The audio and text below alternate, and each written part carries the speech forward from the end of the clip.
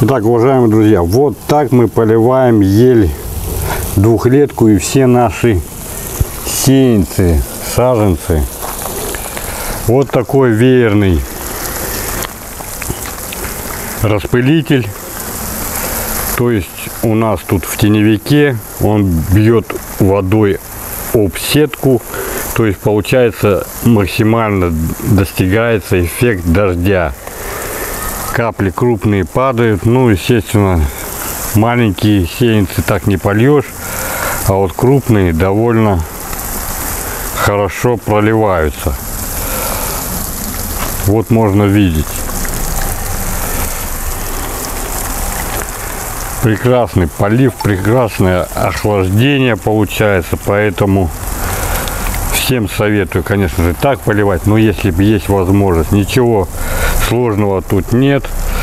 Насос, отстойная вода и веерный распылитель. Просто переставляем его. Вот он бьет, я не знаю, сейчас просто камеру, если не намочу, вот по сетке. Вот видите, там капли собираются и потом они падают. Довольно-таки все хорошо. Сейчас мы пойдем туда, пройдем. Ой, ой, ой, ой. А здесь уже политый. Цвет можете видеть сами. Какие 30%, какие 15%, она вся одинакового цвета, то есть голубого. Да, сизоватая она сейчас чуть-чуть, но потом голубой она дает. Это двухлетка, напоминаю также, что она на нашем сайте. На данный момент идут предварительные, прием предварительных заказов.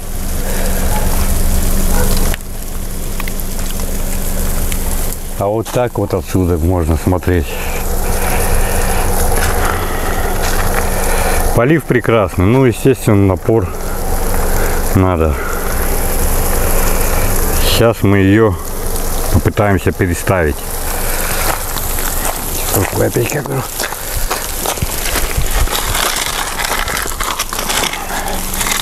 Ну, просто взяли. Ну, я поливаю по отсекам.